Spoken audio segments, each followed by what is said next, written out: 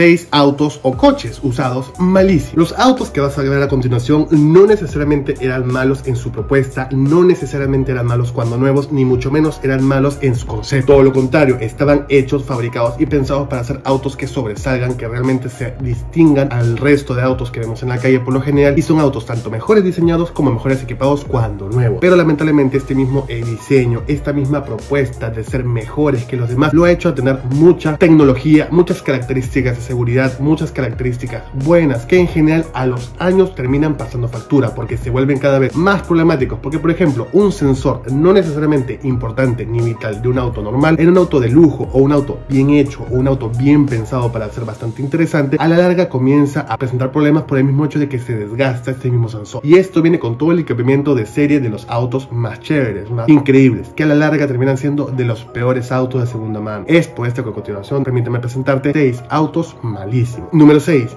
BMW Serie 3 y especialmente pasando el año 2012 2013 cuando ya comienzan a tener muchos pedazos o piezas de plástico sus componentes más importantes y turboalimentadores en motores cada vez más pequeños podemos ver que el Serie 3 se vuelve cada vez menos confiable y especialmente en sus versiones de segunda mano con cierta cantidad de kilómetros y especialmente aquellos que no tienen garantía son de los autos más malos que puedes comprar son de los autos considerados bajo mi perspectiva malísimos. Si quieres comprarte un BMW Serie 3 cómprate del 2006 2007 2008 inclusive de los 90 que no tienen turbocargadores que tienen mayores piezas de metal en sus motores y que no trataban de ahorrar tanto combustible y hacerlos también potentes esta combinación de ahorrar combustible pero a la vez hacer un motor potente hacen que BMW tengan motores chiquititos pero con turboalimentadores que siempre están exigiendo a estos motores. Y es por esto que también terminan desgastándose muy prematuramente porque son motores de 3 cilindros 1400 centímetros cúbicos o 1300 centímetros cúbicos que terminan siempre siendo forzados por el mismo turbo para que avancen y avancen a altas velocidades. Y es por esto que sus motores son muy pequeños tienen piezas de plástico que se derriten se desgastan y simplemente por el mismo tema de que son piezas de plástico tienden a ser problemáticos. Y no solamente la pieza es costosa sino que la mano de obra para llegar hasta la pieza que por lo general se suele desgastar que suele ser piezas cruciales es también bastante alto porque es un largo y arduo trabajo para mantener y reparar sobre todo un motor transmisión de BMW también en los BMW Serie 3 que son por lo general los más famosos y los más comercializados en esta parte del mundo por ser los BMWs más económicos entre comillas en cuanto a sedanes que podemos encontrar. Es por esto que yo considero que el BMW Serie 3 suele tener muchos problemas cuando usado cuando ya hace cierta cantidad de kilómetros y suele ser considerado por muchos un auto usado realmente malísimo. Número 5 Volvo XC90. La Volvo XC90, desde que tiene propietarios chinos, son una verdadera pesadilla, ya que no tiene tanta calidad, no necesariamente en su equipamiento y en su atención al detalle, sino más bien en su parte mecánica. Los propios fanáticos de la marca te ruegan, te piden que no te la compres si es que no tiene algún tipo de garantía, ya sea de la marca oficial o algún tipo de garantía extendida de parte del propietario que te está vendiendo el auto. La Volvo XC90 es un muy buen prospecto, es una muy buena oferta para la gente que tanto tiene dinero como también tiene una gran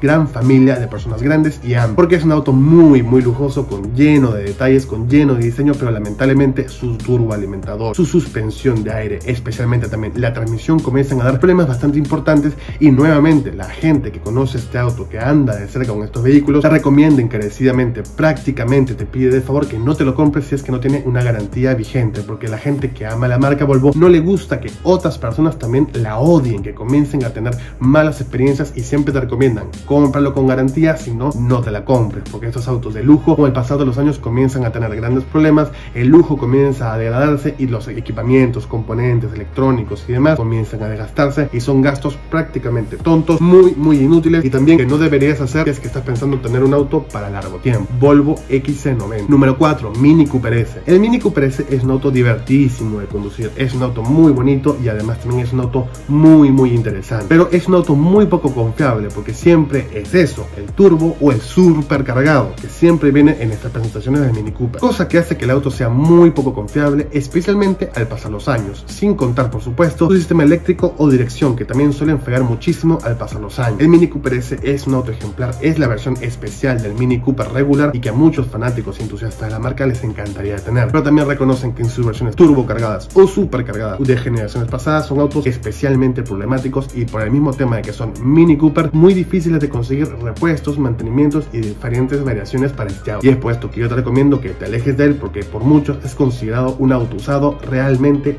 mal. Mini Cooper es. Número 3, Nissan Murano. La Nissan Murano es un auto especial, es un auto complicado con transmisión CBT que ya todos conocemos cómo va y es difícil de mantener por la cantidad de lujo y complicaciones que tiene que al ser un auto de segunda es muy poco confiable cada vez. Pero no solamente por ser un auto de segunda, sino más bien por ser un auto tan pensado en el lujo, tan pensado en el confort y en el deportivismo de cierta manera, que hace que la Nissan Murano se vuelva un auto poco confiable porque tiene muchísimos, pero muchísimos elementos que se van degradando, que se van desgastando, que se van haciendo cada vez más problemáticos al paso de los años. La propuesta de la Nissan Murano también era bastante buena o es bastante buena porque se sigue fabricando. Un auto grande, bien equipado, bien complejo, con bastante resistencia en su componente más importante que es el motor para que puedas viajar, pues la gente no piensa que su equipamiento tan amplio y tan atendido para todos los gustos en adentro de las personas que pueden pagar hace que este auto sea cada vez menos confiable, especialmente en sus versiones de segunda mano. Así que yo te recomiendo que busques una camioneta tal vez un poco más austera. Nissan Murano. Número 2, Audi A4. Y hablando de autos austeros, estos son los más recomendables, porque por ejemplo, el Audi A4 es importante señalar la cantidad de estos modelos que hay abandonados por las ciudades, principalmente por problemas de transmisión y evidentemente del turbo que suele desgastarse bastante. Este auto es bonito, nadie lo puede negar,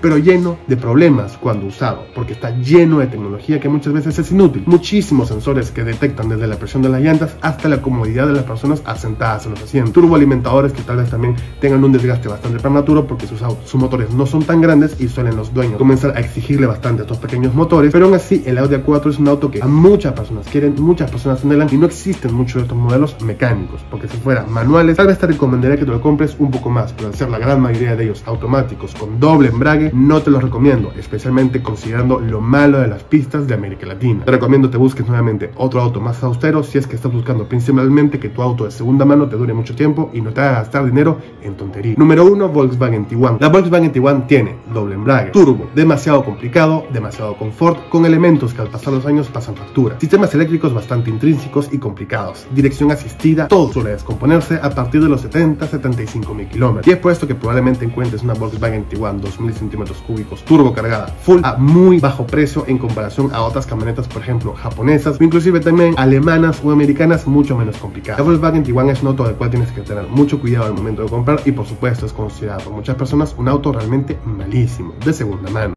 Si este video te gustó, por favor regálame un me gusta, también suscríbete a mi canal que me ayudaría muchísimo. Que tengas una muy buena semana, mucha salud y mañana.